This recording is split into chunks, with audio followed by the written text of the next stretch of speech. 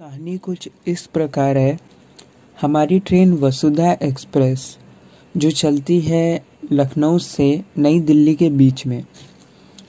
वो ट्रेन चलते चलते पहुँचती है मानक नगर एंड मानक नगर में उसका जो लोको होता है ओरिजिनल उसमें कुछ तकनीकी खराबी आने के कारण उस ट्रेन को अमौसी तक एक दूसरा एल्को खींच के ले जाता है।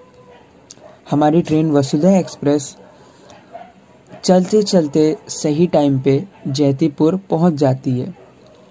और जैतीपुर के बाद ट्रेन काफ़ी टाइम के लिए लेट हो जाती है।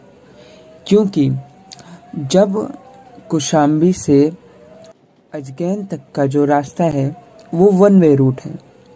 और वहाँ से आ रही होती है हमारी कानपुर ऊंचाहार एक्सप्रेस जिसके कारण वो इतनी धीरे आती है वो ट्रेन जिसके कारण हमारी ट्रेन को लगभग एक घंटा जैतीपुर पे वेस्ट करना पड़ता है।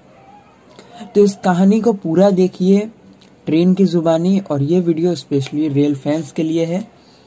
अगर वीडियो अच्छी लगती है तो लाइक कर देना चैनल पर नए हो तो सब्सक्राइब ज़रूर कर देना, और कमेंट करके अपने रिव्यूज़ ज़रूर से बताना।